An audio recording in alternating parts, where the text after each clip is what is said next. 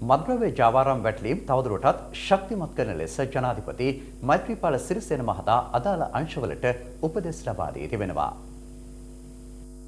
ජනාධිපතිතුමා සඳහන් කළේ ඒ සඳහා නීතිය කාර්යක්ෂමවම සහ දැඩිව ක්‍රියාත්මක කිරීමට අවශ්‍ය බලතල අදාළ ආයතන සහ නිලධාරීන්ට පවරා දීමට නීති කෙටුම්පත් සම්පාදනය මේ වන විට කඩිනමින් සිදුවෙමින් පවතින බවයි.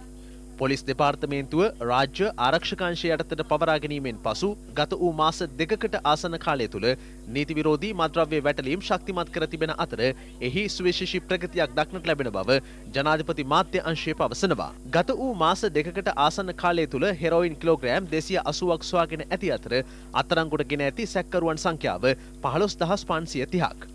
ජනාධිපති මාධ්‍යංශය පවසන පරිදි දෙදහස් දහ අට වසරේ ජනවාරි පළවනදා සිට ඔක්තෝම්බර් තිස් එක්වනදා දක්වා කාලය තුළ ස්වාගෙන ඇත්තේ හෙරෝයින් කිලෝග්‍රෑම් එකසිය අසූ හතරක පමණ ප්‍රමාණයක්.